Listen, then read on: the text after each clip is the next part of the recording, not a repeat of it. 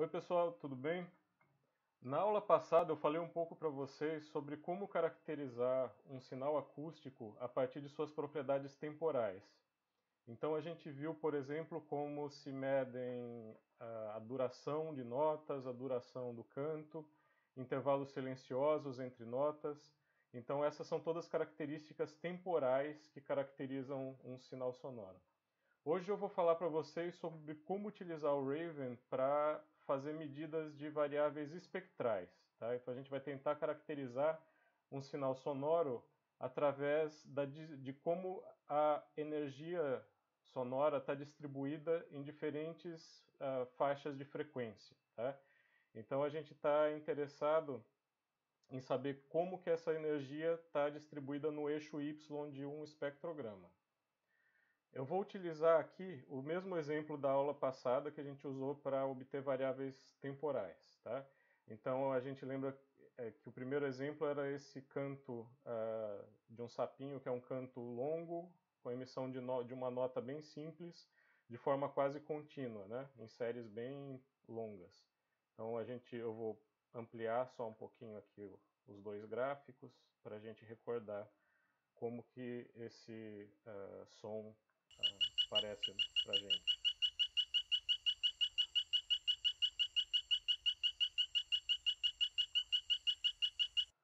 Ok? Então são notas uh, idênticas, repetidas continuamente, separadas por intervalos de tempo uh, bem regulares. Né? Hoje a gente então vai tentar caracterizar como que a energia sonora está distribuída nesse espaço aqui de frequências, né, no eixo Y aqui do espectrograma. Eu vou ampliar um pouquinho só o zoom. Tá? Já do espectrograma a gente consegue identificar algumas uh, características desse som.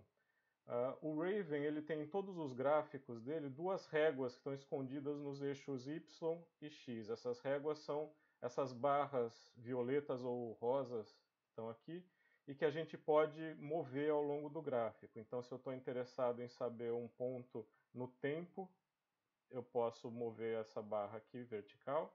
E se eu estou interessado em saber um valor de frequência, eu posso mover essa barra horizontal. A gente vê que aqui, ao longo dos valores do eixo Y, o valor na ponta da barra muda. Né? Então, eu posso ver o valor instantâneo uh, daquela frequência. Então, por exemplo, eu posso estar interessado em saber aproximadamente onde está a frequência fundamental né, desse som. Então, a frequência fundamental, que corresponde ao primeiro harmônico, está é, aproximadamente em 1.49, 1.5 kHz. Eu posso estar interessado em saber aproximadamente qual é a frequência dominante desse som. Então, eu vou aqui para a frequência que é emitida em maior intensidade. Né? A gente sabe que essa escala de cinza aqui representa as frequências que são emitidas com maior energia, né? em tons mais escuros, e o silêncio em tons claros. Então a gente sabe que a frequência dominante deve estar em algum lugar por aqui, mais ou menos em torno de 2.9, 3 kHz. Mas essas são medidas aproximadas. Como eu falei na aula passada, a gente nunca utiliza o espectrograma para fazer medidas de variáveis uh, quantitativas né, do som. A gente nunca realiza essas medidas no espectrograma. Ele é uma representação visual do som, é algo que a gente usa para apresentar o som, como ele, a estrutura dele, como ele é. Mas a gente não realiza medidas de propriedades temporais ou espectrais sobre esse gráfico. Tá? O Raven ele tem duas opções uh, de análises de variáveis espectrais. Tá? A primeira delas é esse gráfico, está aqui nesse botão que mostra um gráfico azulzinho, que é o Spectrogram Slice View. Slice é uma fatia, né? então ele vai criar um espectrograma, ou uma, na verdade um gráfico que a gente chama de Power Spectrum, para um ponto no tempo. Tá? Então isso serve para você, se você está interessado em saber qual é uh, o espectro de frequências, como a energia sonora está distribuída entre uh, o, o, as, as, diferentes faixas de frequência em um ponto no tempo. Tá? Então isso serve para sons muito curtos, por exemplo, que teriam a duração aproximada de uma da largura de uma barrinha dessas, tá? Aqui a gente tem uma duração já de alguns milissegundos, então essa não seria a opção de escolha para a gente. Eu mostrei para vocês também que o Raven funciona com um sistema de janelas de seleção, né, de seleções. A gente pode criar várias seleções correspondendo a pedaços ou, ou fragmentos de interesse que a gente tem em uma gravação. Então a gente pode selecionar partes do, da gravação de um som e pedir para o Raven calcular um Power Spectrum dessa sessão, que normalmente é o que a gente está interessado. Então eu vou pedir uh, para o programa mostrar o oscilograma de novo. Como eu falei, para delimitar elementos uh, como intervalos silenciosos ou notas, a gente sempre usa o oscilograma waveform, né, esse gráfico superior, porque é muito difícil estabelecer li os limites de começo e de fim de uma nota ou de um elemento de um som pelo espectrograma, por causa dessa escala de cinza. Tá? Então eu sempre vou usar esse gráfico superior, que é o oscilograma. Eu vou selecionar o gráfico, eu vou aumentar um pouco a escala, tá? o zoom sobre ele, para fazer seleções mais uh, precisas. E eu vou selecionar, vamos começar pela nota. Tá? Eu tenho interesse então em caracterizar essa nota, uh, tanto temporalmente, como a gente viu na, na aula passada, como espectralmente. Então eu, vou, eu quero obter variáveis temporais e espectrais a partir dessa nota. Eu faço então uma seleção, ah, uma nova seleção, e clico o botão Enter. Então essa seleção foi comprometida, como a gente viu na aula passada. Eu posso clicar novamente nesse gráfico, ele vai criar uma seção 2. Tá? Aqui, como eu mostrei para vocês, aqui embaixo tem a Selection Table, a tabela de seleção. E a gente ainda precisa, se vocês lembram, colocar as variáveis, inserir aqui as variáveis é, que eu tenho interesse em obter a partir dessas seleções. Tá? Vamos só apagar essa, essas duas seleções e trabalhar por enquanto só na nota 1, que, que é mostrada no intervalo 1 na seleção. Então eu vou aqui em View, Clear All Selection Borders, só para a gente começar com a nota. Então eu crio a seção 1, tá? Vamos colocar algumas variáveis de interesse, tá? Aqui. Então eu vou, vou no menu View, Choose Measurements. A gente começa selecionando delta time, que é, a gente tem interesse na duração da nota. Tá? Vamos fazer tudo de uma vez agora, variáveis temporais e espectrais. Então já coloco o delta time ali. Eu posso escolher uma, vari uma variável que sempre é escolhida, é a max frequency, tá? que é a frequência de pico ou frequência dominante. Para evitar também confusões, tem um outro parâmetro que é chamado de peak frequency. Tá? Eles têm algumas diferenças bem sutis no cálculo, mas basicamente, uh, se, se o, o, o, som for bastante simples, eles vão dar o mesmo valor. Tá? Então, delta time, max frequency. Tá? Uh, é possível também estimar a largura de banda, que seria essa diferença entre a, a frequência mais alta e a frequência mais baixa de um elemento, tá? de, um, de um som. Então, para isso, a gente seleciona as variáveis frequency 5% e frequency 95%. E também a gente pode escolher a bandwidth 90%, tá? É, então, essas três variáveis, uh, frequency 5%, frequency 95% e bandwidth 90%. Tá? Então, isso vai uh, caracterizar o espaço de frequência ocupado por esse elemento, tá? por esse som. Essas três variáveis. Ok? Eu vi aqui que a, sele a, a selection table ela foi atualizada. E eu tenho imediatamente uh, todos os valores uh, referentes a essa nota, né? todos os valores que eu pedi para serem caracterizados. Tá?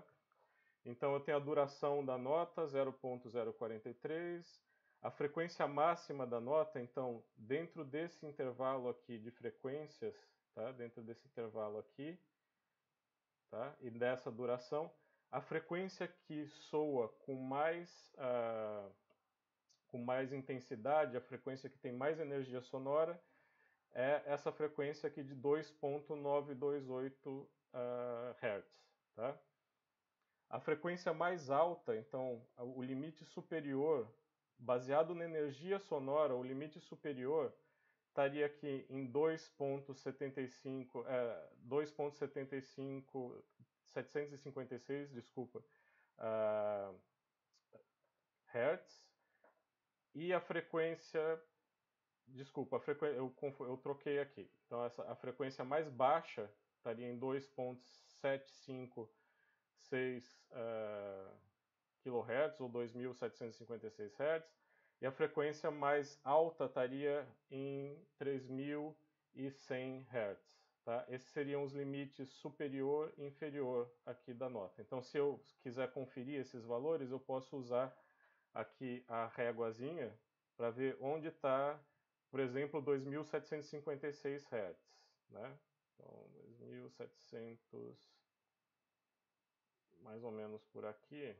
Tá? Então, esse é o limite inferior da nota. E 3.100 Hz, mais ou menos isso aqui. Isso significa que 90% da energia acústica desse intervalo de tempo tá, tá concentrada nessa faixa entre esses dois limites. Tá? Isso, a largura, então, que da, da, da a largura de banda, né, a largura do espaço de frequência que esse elemento aqui ocupa, que esse elemento é caracterizado por conter 90% da energia uh, desse som, essa largura é de 344 Hz. Tá? É a diferença entre a frequência mais alta e a frequência mais baixa desse som. Tá? Aqui ele criou uma seleçãozinha 2, que não era para criar, mas tudo bem. Tá bom? Então a gente tem esses valores aqui.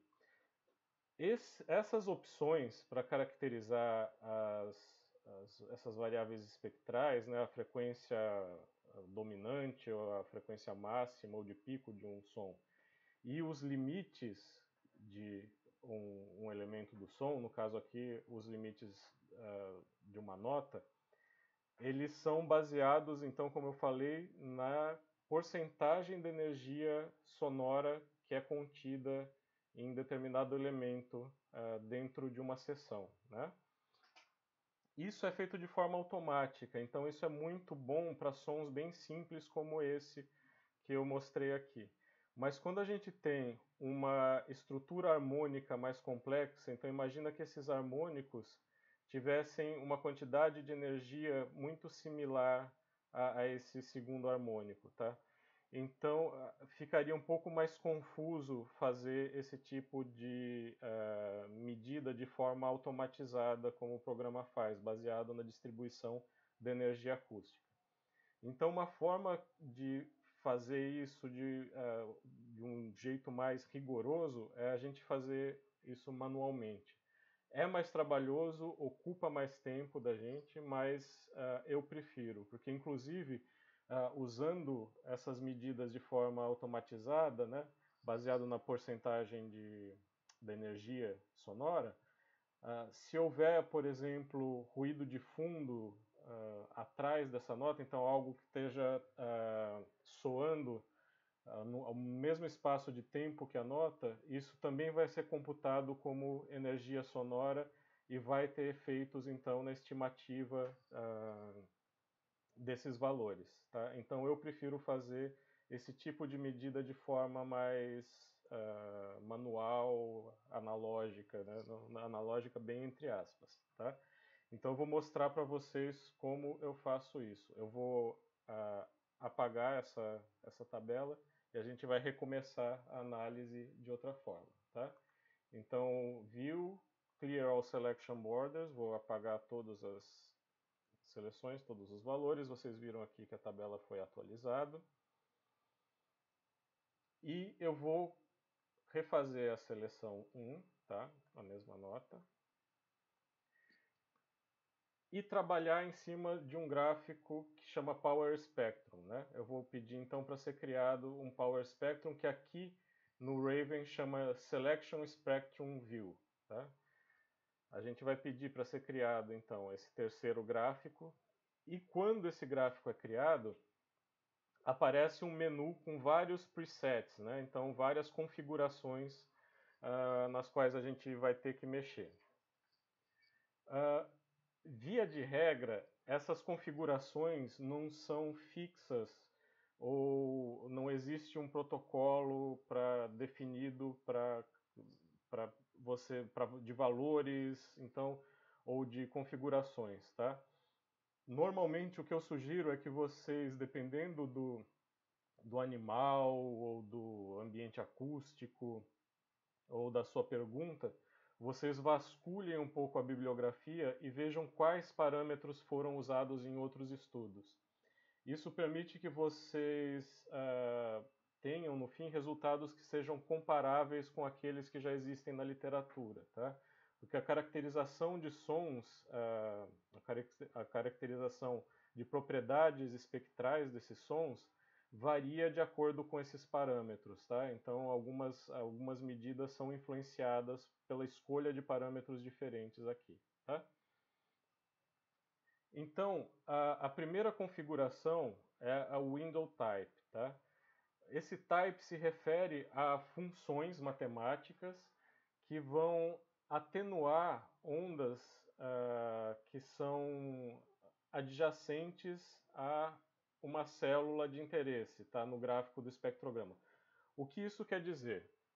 O espectrograma, ele na verdade, ele tem um, ele funciona como um grid, então ele tem divisões nos dois eixos, nos eixos uh, de frequência e no eixo de tempo. Então cada corzinha dessa, cada valor de cor nessa escala de cinza corresponde a um pontinho, tá? E esse pontinho, ele pode estar tá mais claro ou mais escuro. Se ele está mais escuro, significa que você tem uma alta amplitude, então uma onda uh, muito alta, uma amplitude muito alta naquela, naquele valor de frequência. Está mais claro, é porque não tem uh, uma amplitude aqui, então significa que essa área, por exemplo, que eu estou mostrando aqui, é, é silenciosa, enquanto essa área mais escura aqui tem um som nesse ponto de frequência, nesse valor de frequência. Então imagina sempre um espectrograma como um grid, tá? Então, para calcular o valor de amplitude desse grid, então quanto mais ou menos escuro é esse pontinho, a, o programa utiliza funções matemáticas que também consideram os valores laterais, tá? os valores, aliás, inferiores e superiores, no caso que a gente está falando de frequência. Então, os valores das ondas adjacentes. Então, para evitar que os valores dessas das células adjacentes influenciem demais a estimativa de amplitude da célula de interesse, essas funções vão atenuar essas ondas laterais para calcular o valor certinho de amplitude aqui. Tá? Isso a gente uh, pode permitir também que haja mais ou menos sobreposição de valores de uma célula para células adjacentes. Isso a gente configura aqui nessa função overlap, tá? nessa opção overlap. Então, não existe um protocolo ou uma recomendação para qual dessas funções a gente deve usar. Né? Então, o window type é baseado nessas funções matemáticas que têm nomes uh, de acordo com a função por exemplo, para o meu grupo de estudo, a, a, gente usa sempre a função Blackman, tá? Então eu faço isso porque na literatura uh, várias pessoas utilizam a mesma função para análises bioacústicas, tá? Então eu recomendo que vocês vasculhem a bibliografia e vejam qual função é mais utilizada para o organismo que vocês têm interesse. Uh, outro preset importante, outra configuração importante é o tamanho da janela, o window size. Tá? O que, que o window size uh, vai fazer? quanto maior essa janela, quanto maior a duração dessa janela, melhor vai ser a resolução espectral do seu gráfico, tá? Porque mais medidas vão ser feitas dentro dessa janela, mais medidas de amplitude de frequência vão ser feitas dentro dessa janela. Uh, mas a gente perde resolução temporal, claro, porque essa janela, à medida que ela vai se expandindo, isso significa que a cada quadradinho desse grid, dentro de cada célula desse grid, corresponde ao intervalo de tempo maior. Então, essas as fronteiras é, entre diferentes uh, medidas de duração do canto vão ficando mais nubladas. Tá? Então, quando a gente aumenta a resolução em tempo, a gente perde resolução em, uh, no, do espectrograma, do espaço de frequência. Tá? E vice-versa. Se vocês trabalham com sinais que são muito curtos, de só alguns uh, milissegundos, por exemplo, ou, ou menos, a gente vai querer uma janela de tamanho muito pequeno. Então a gente vai querer, por exemplo, uh, 20, aqui está em samples, a gente vai botar para milissegundos, tá? que é uma medida uh, mais uh, inteligível né, para a gente. Então a gente vai querer trabalhar com uma janela de 20 ou 10 milissegundos, por exemplo. Eu posso usar 10 milissegundos. Tá? As outras configurações são atualizadas uh, automaticamente. Assim, assim, que você muda o valor do tamanho da janela, as outras configurações uh, são alteradas.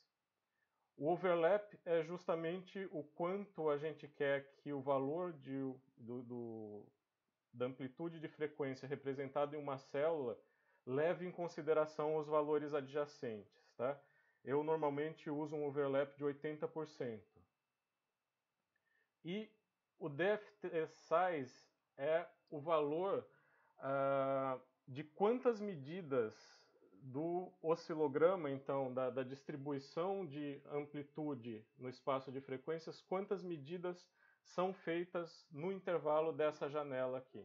Então, em 10 milissegundos, quantas medidas de frequência, de amplitude de frequência, vão ser feitas uh, nesse intervalo, tá? Então, aqui, quanto maior o valor, mais uh, resolução em frequência a gente vai ter para o nosso uh, Power Spectrum. Então, eu normalmente recomendo usar uh, 2048 ou mais. Tá? Hoje em dia a gente consegue valores super altos aqui, então vai depender bastante uh, também dos, dos, parâmetros que já foram usados em outros estudos. Eu costumo usar esse valor uh, de 2048, que é suficiente para os organismos que eu trabalho. Tá? Feitas todas essas configurações, tá? Uh, lembre sempre de dar um cliquezinho no mouse, às vezes você está tá mexendo no menu e se você não faz isso ele não uh, computa o valor novo. Mas feitas essas configurações, a gente não precisa mexer em mais nada, só dá OK e é criado esse gráfico aqui, tá bom? A gente vê que o espaço do, do programa ficou meio abarrotado né, da nossa tela. Então, o espectrograma, como eu falei, a gente não vai usar para nada, então a gente pode tirar ele daqui. E a gente pode mexer um pouco, a gente não consegue entender melhor, muito bem esse gráfico, a gente vê que tem picos aqui. Tá? E a gente pode mexer um pouquinho na escala dele, opa, deixa eu selecionar ele primeiro. Pode mexer um pouquinho na escala dele para entender melhor a diferença entre os picos. Tá? Só para a gente ter uma ideia do que é representado no Power Spectrum, se vocês não lembram da aula teórica, mas eu vou tirar por enquanto esse waveform daqui, o oscilograma, só para vocês entenderem. Quando eu começo a mexer aqui no espaço de frequência, que aqui a, gente vê que esse eixo do espectrograma aqui em cima representa frequências, né? a variação em frequência esse eixo é tombado para o eixo X no Power Spectrum. Tá? Então o que eu estou vendo aqui é como a energia, aqui você tem um eixo uh, Y que representa decibéis, então a intensidade do som, a amplitude do som. Então, esse gráfico representa como a energia sonora está distribuída ao longo do espaço de frequências que agora está no eixo X. E eu posso entender a correspondência entre esse gráfico de Power Spectrum e o espectrograma movendo a régua que está aqui escondidinha no eixo Y tá, de intensidade. Quando eu movo essa régua, ela vai passeando por valores do eixo de frequência. Né? Então, a gente pode ver que no, à medida que eu mexo essa régua, a régua horizontal, que é equivalente a, a essa régua, a régua horizontal do gráfico do espectrograma, ela vai se movendo também. Então eu estou passeando por um relevo de intensidade sonora. Tá? Então eu já vejo que esse primeiro pico corresponde à frequência fundamental. Né? Eu vou no gráfico superior e dou uma olhada onde está a régua lá. E está ali na frequência fundamental. Eu continuo viajando por esse relevo de uh, intensidade sonora e eu chego nesse pico mais alto que é a frequência dominante. Então eu posso ver a correspondência entre a frequência dominante e uh, o, o, gráfico do, no espectrograma. Né? Então eu vejo que a frequência dominante realmente está nessa área mais escura, mais ou menos na metade dela. Então eu posso caracterizar uh, essas, uh, esse sinal sonoro ah, de uma forma um pouco mais rígida ou um pouco mais uh, criteriosa, tá? Do que pedir simplesmente para o programa calcular.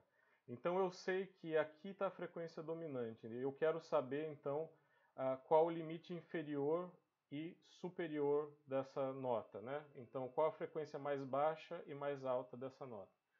Para eu fazer isso manualmente, o que eu faço é selecionar os limites inferior e superior da nota estabelecendo um intervalo de decibéis a partir da frequência de, do pico da frequência dominante. Tá? Então aqui é o pico da frequência dominante, é o, a frequência que soa com maior intensidade.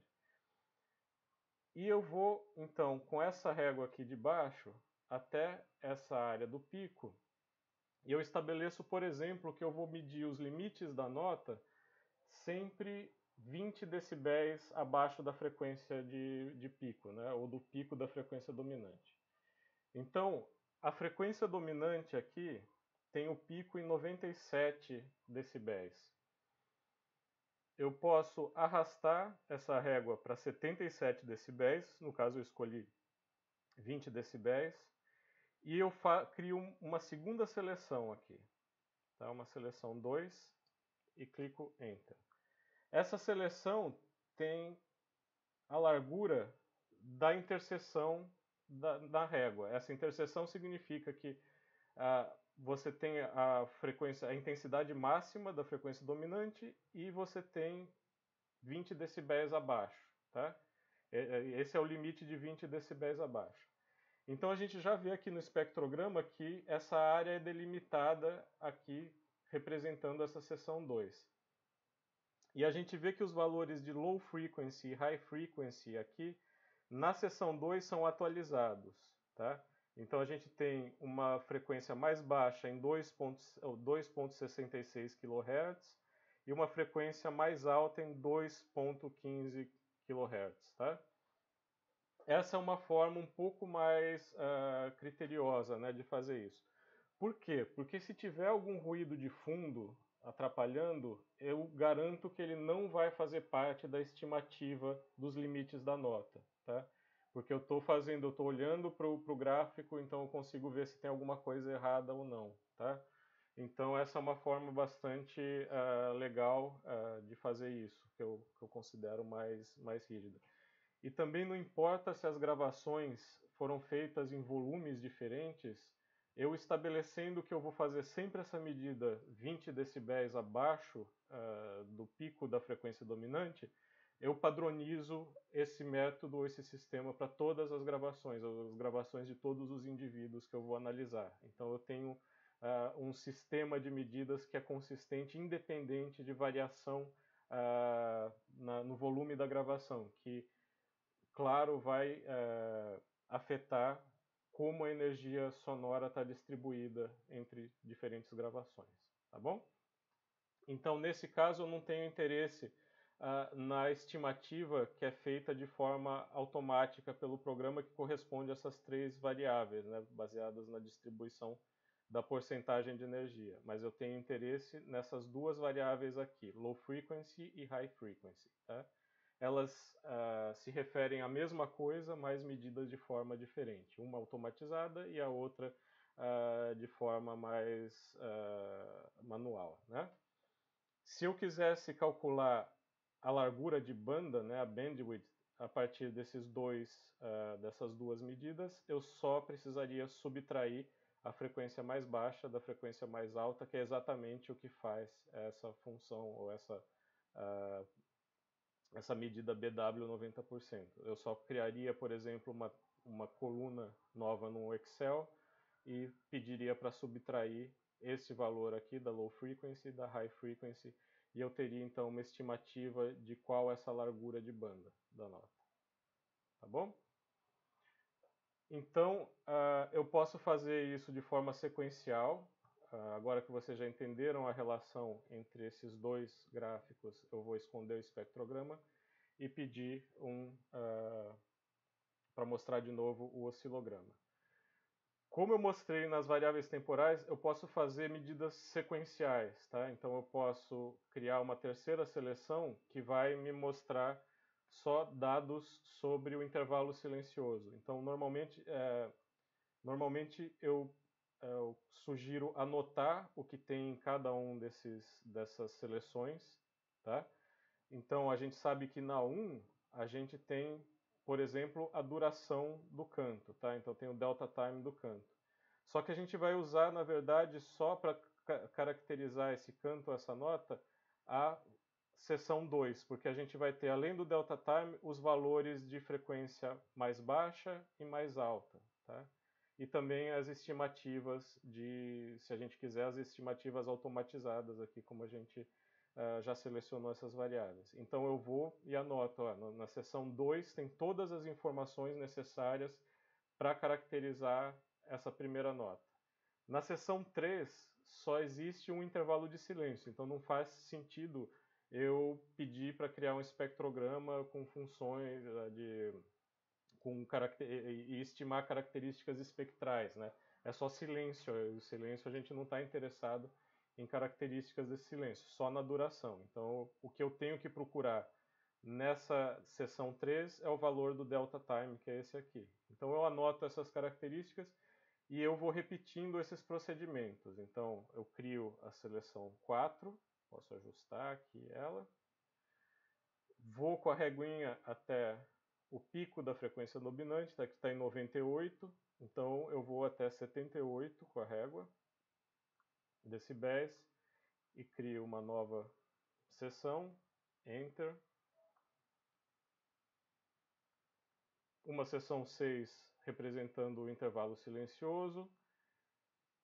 Seção 7, novamente outra nota, então eu faço o mesmo procedimento, vejo qual é o pico da frequência uh, dominante. Está em 98, deixa eu ver, Vamos botar 99, vai? Então vamos até 79. Enter. Então eu sei que na seção 8 tem todas as informações uh, sobre variáveis temporais espectrais dessa nota. Depois 9. Então eu tenho um sistema de, de obtenção de medidas que vai de, varia de 3 em 3, ou vai se acumulando de 3 em 3. Então eu sei que a cada três seleções, que são uh, parte dessa tabela, eu tenho os valores dessas variáveis para nota e o valor de duração do intervalo silencioso. Então isso eu posso uh, interpretar depois a tabela quando ela for aberta em Excel tá bom?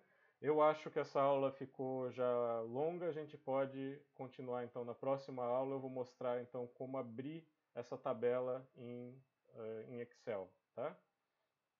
Uh, só lembrando, para salvar os valores dessa tabela, eu vou em File, Save Selection Table As,